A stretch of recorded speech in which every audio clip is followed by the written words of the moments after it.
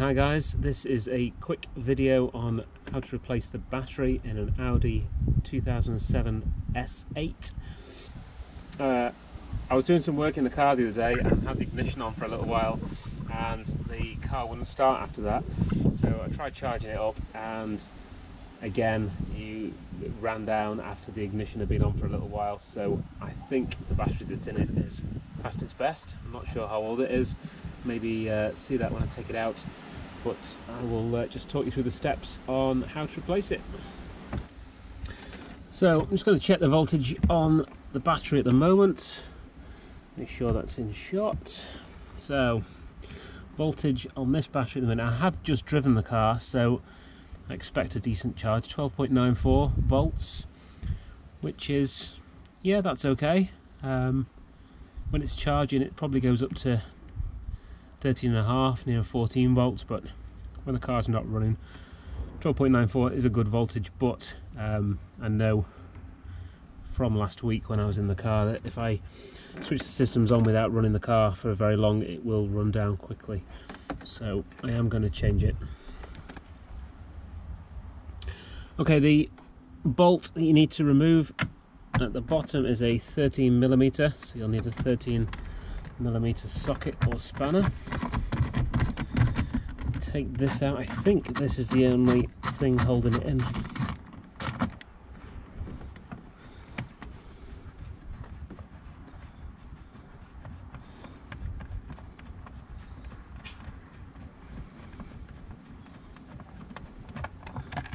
Okay. And then this bracket at the bottom has got the wire attached to it but uh, this is loose now. I think the battery yeah the battery will just come out now. What we need to do now is take off the battery clamps. So you've got one there one there.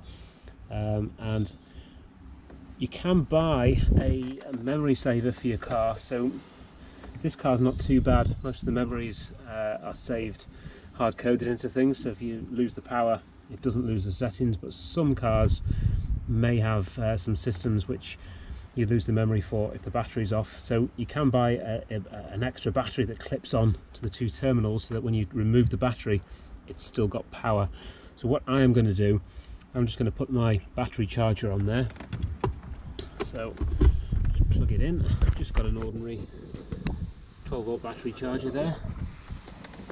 And what I'm going to do is just clip on the two connections before I remove them off the battery so uh, one there and the negative on the other side which goes onto the car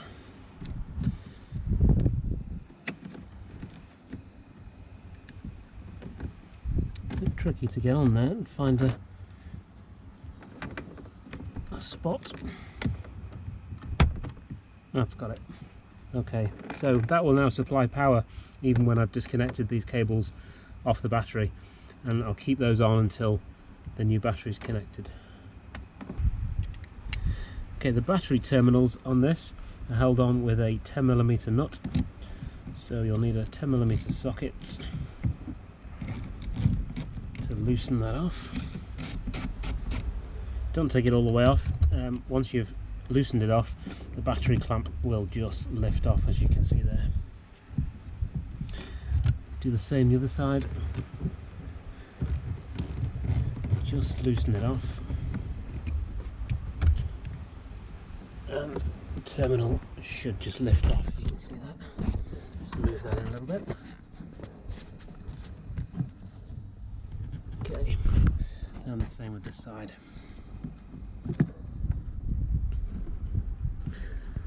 Now, once that is off, the battery will just pull out.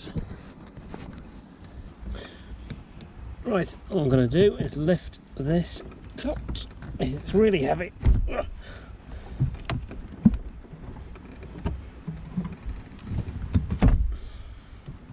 Just clear all your cables out of the way and out it comes.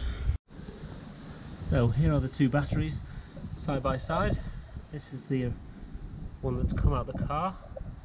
Uh, would have been 2007 I'm pretty sure this isn't the original one. And this is the replacement that I'm putting in. Now they're slightly different specifications. The one that I'm putting in is 110 amp hour 900 amp cranking power this one the old one is 110 amp hour 850 cranking power. Um, to be honest if they're physically the right size to fit in and your terminals are the right way around because sometimes the plus and minus are reversed on the battery. As long as they're in the right place and it's the right size it'll physically fit in the space. Uh, it's not really doesn't really matter too much um, what, uh, what power the battery is, as long as it's at least 110 amp hour for the S8. Because the S8 does have um, a lot of systems in there which uh, which run power.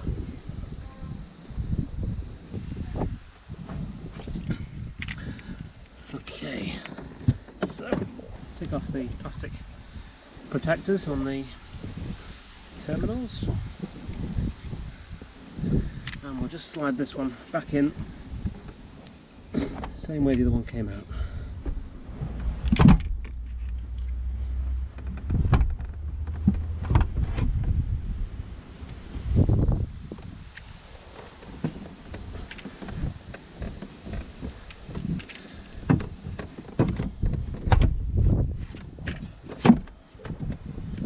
That's it, back in place. So fitting this is the reverse of what we did before will put the negative terminal onto the battery like so.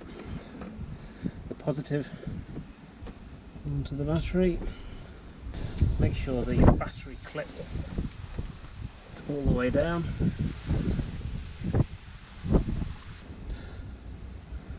So with those clips back on the battery what we need to do now is just tighten up these 10 millimeter nuts that we loosened off before.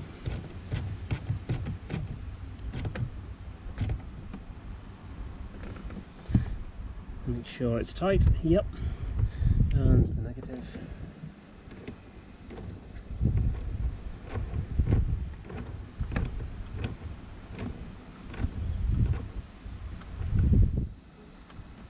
You remove the battery charger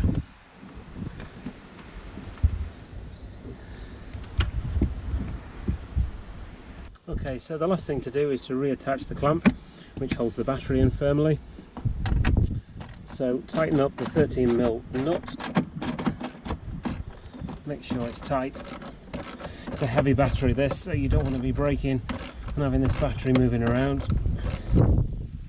That's it. Make sure your terminals are still nice and tight, yes. Um, and replace the uh, internal cover. So thanks for watching. Um, I may make some other S8 maintenance videos as they come up. Um, if there's anything in particular you're interested in seeing, um, programming devices, uh, maintenance on, on the rest of it, wheels, um, perhaps you can let me know in the comments and uh, next time I'm doing something on the car we can video that too. So thanks very much.